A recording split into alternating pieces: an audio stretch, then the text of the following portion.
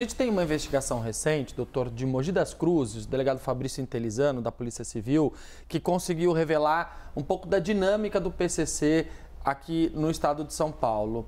E em alguns momentos, essa investigação cita uma outra investigação, que é uma investigação também feita pelo GAECO aqui em São Paulo, que diz respeito à infiltração do PCC no transporte público de ônibus.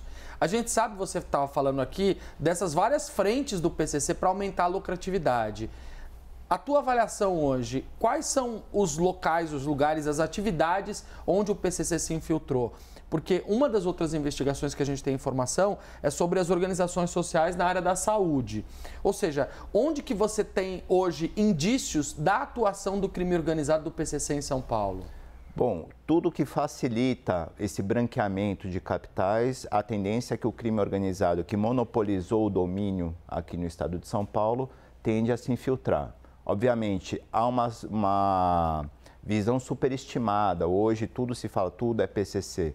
Mas a questão do poder público é um atrativo para a organização criminosa se infiltrar no local para obter seus ganhos lá com contratos é, vultosos, contratos rentáveis de contratos públicos para é, branquear esse capital e também desviar dinheiro do poder público. A gente está falando do quê? Posto de gasolina, lotérica, esse tipo de atividade também? É, sempre houve essas atividades particulares da organização criminosa. Agora a tendência é essa migração, como você falou, Pedro, para o poder público, para as organizações sociais, para contratos administrativos, porque já é, a tendência é que eles ficam é, acima de qualquer suspeita lá, operando dentro dessa, desse mercado lícito ficar acima de qualquer suspeita. É, doutor, eu, vou lhe perguntar algo que eu imagino que, que, passe na cabeça das pessoas que nos assistem, e aproveitando todo o seu conhecimento e diante daquilo que o senhor puder dizer.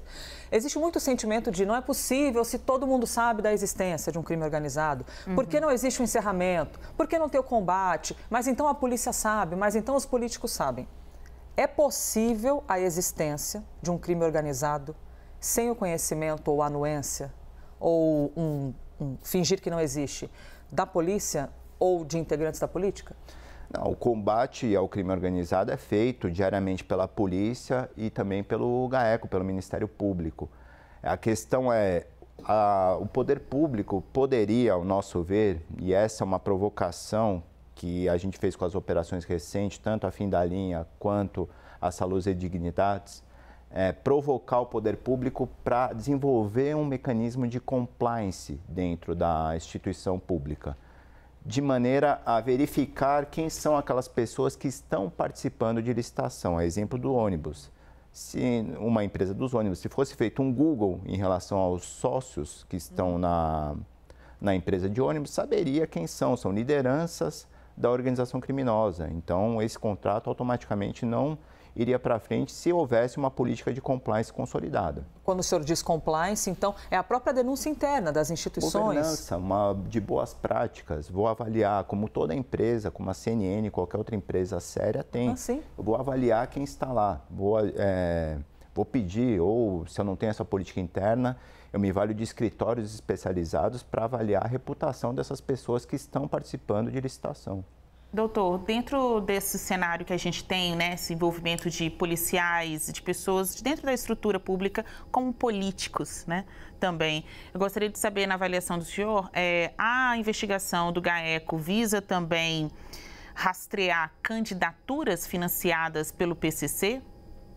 Na verdade, a, em relação ao processo eleitoral, ele é, é incumbência do Ministério Público Eleitoral, ou seja, promotores designados para atuar na área eleitoral. Obviamente, se houver Vocês qualquer necessidade, né? necessidade, o GAECO está aqui para colaborar com qualquer outro colega, seja do Ministério Público Estadual ou Federal, a respeito de informações de quem são aquelas pessoas, ou eventuais inquéritos antecedentes, se eles são investigados pelos núcleos.